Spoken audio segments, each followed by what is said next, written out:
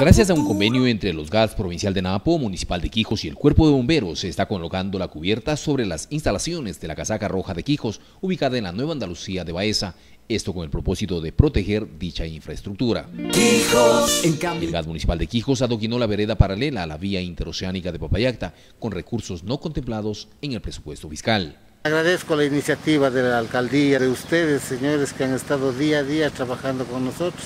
Es una presentación muy elegante para que los señores turistas vengan y disfruten de la belleza del paisaje de aquí y de la gente. El turismo justamente está bien, muchas personas han hablado de este asunto a comparación con era, era medio, medio enfermo. Y ahora está una bonito. Mejoró el pueblo, es bonito la vía para que puedan andar los peatones por los lados, ya no están en la carretera. El GAN Municipal de Quijos adoquinó las calles 12 de febrero y Juan Pablo II de la parroquia de Cuyuja. Esta es una obra aprobada por la ciudadanía en las asambleas ciudadanas en la distribución de los presupuestos participativos para este año conjuntamente con sus autoridades. Claro, muy bien, pues la vía estaba muy deteriorada y creo que ha sido una muy buena obra para que se mantenga bien. Una excelente obra. Aquí en la parroquia de Cuyuja se ha hecho algunas obras en mancomunidad, en conjunto, llamémoslo así, con los demás gobiernos, sea el gobierno provincial, el gobierno parroquial y el municipio. Hace poco también inauguramos esta hermosa cancha sintética, presidente. Gracias a eso, pues a esos aportes se ha podido culminar una hermosa cancha que está al servicio de la comunidad. Perfecto. ¿Cómo se está ahora distribuyendo la gente, cómo juega, asiste, no asiste? Eh, todas las tardes esa cancha es a full y también ahorita están, se encuentran en en un periodo de, deportes. Un campeonato. Eh, el campeonato, así es, es full full, es una cancha muy hermosa al servicio de todos, de toda la comunidad y de todos los que deseen eh, de todo el Valle del Quijos. En cambio, estamos construyendo el alcantarillado pluvial en el barrio Pedro Dalmazo de San Francisco de Borja.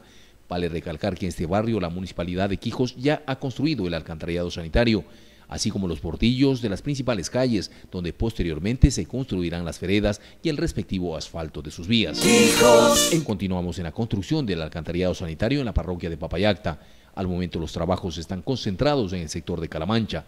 Así también, en los próximos días se iniciará con la construcción de una de las plantas de tratamiento de las aguas residuales del sector de Termas, donde los técnicos de la municipalidad se reunieron con técnicos del Ministerio del Ambiente. Nosotros como Ministerio del Ambiente hay que considerar que esto es un área protegida. Estamos dentro del Parque Nacional Cayambe Coca. Estamos en esta inspección de la planta de tratamiento de aguas residuales acá de Papayacta. Esto es bastante importante justamente por la gran cantidad de turistas que, van, vienen acá hacia Papayacta.